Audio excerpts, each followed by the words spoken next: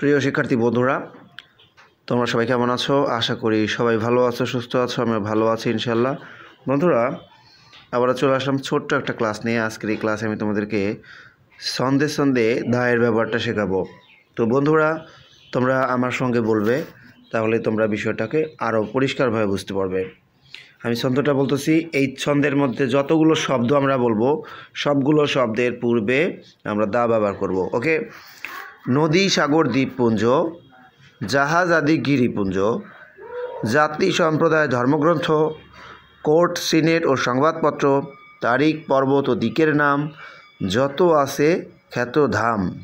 চন্দ্র, সূর্য, গ্রহ, তারা, আরও যত বিশ্বধরা, পৃথিবীতে একটি আছে যত, তার পূর্বে বসবে দা নেই ভিন্ন মতো।